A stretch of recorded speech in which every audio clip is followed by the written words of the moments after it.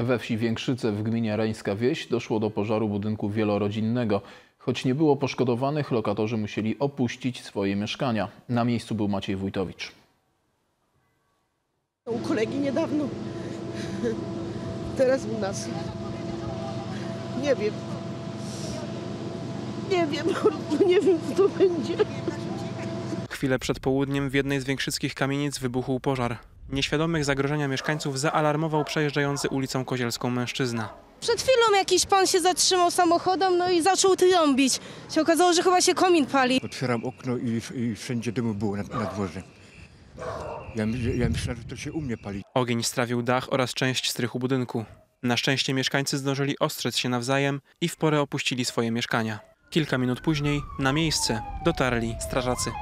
10 zastępów Państwowej Straży Pożarnej e, oraz jednostek ochotniczych straży pożarnych z terenu powiatu kędzierzyńsko-kozielskiego brało udział w działaniach ratowniczych. Tuż po godzinie dwu- 13.30 doszło do lokalizacji zdarzenia, czyli sytuacja została mm, opanowana.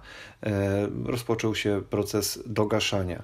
I choć dzięki straży ogień nie przedostał się do mieszkań poniżej strychu, to mieszkańcy, którzy w pośpiechu opuścili budynek zostawiając w nim swój dobytek, nie będą mogli od razu wrócić do swoich domów. Za tylko kurtkę i nic więcej. Dokumenty, wszystko, wszystko zostało na górze, no nic się nie wzięło. I, i co? Na dół. Kominiarz był przecież trzy dni temu, bo kominiarza wzywałam, no i... No nie wiem, nie wiem, nie mam nawet siły płakać, dosłownie.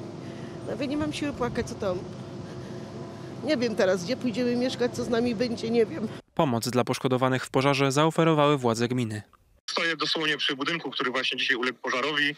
E, i oczywiście mieszkańcy tej pomocy, tą pomoc otrzymają, są zabezpieczeni, mają tymczasowe miejsce schronienia, a docelowo e, mają zabezpieczone pokoje hotelowe w miejscowym e, obiekcie hotelowym po to, żeby po prostu w tym ciężkim czasie te schronienie znaleźć, a my jako gmina będziemy starali się w późniejszym czasie znaleźć im lokale zastępcze. Straż pożarna bada miejsce pożaru, szukając jego przyczyny. Natomiast decyzję w sprawie powrotu do mieszkań podejmie gmina wraz z nadzorem budowlanym.